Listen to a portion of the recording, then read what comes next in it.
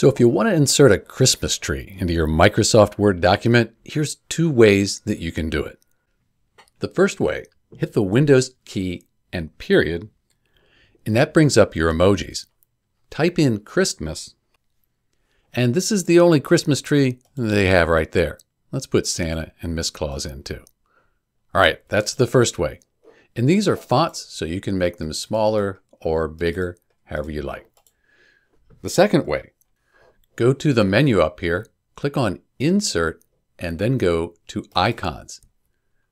Again, type in Christmas, and we have some other Christmas trees we can put here. Some holly in there as well. Insert those. One last way. If these aren't enough Christmas trees, you could go to the web and find an image and drop that in. So these are copyright free images on Wikimedia. I'll put the link in the description to this video. So click on one, right click, copy the image, back over here to our Word document, then right click and paste, and there's our Christmas tree. And again, an image which you can resize, make smaller, however you like. So that's how you insert an image of a Christmas tree into a Microsoft Word document. This is Dr. B, and thanks for watching.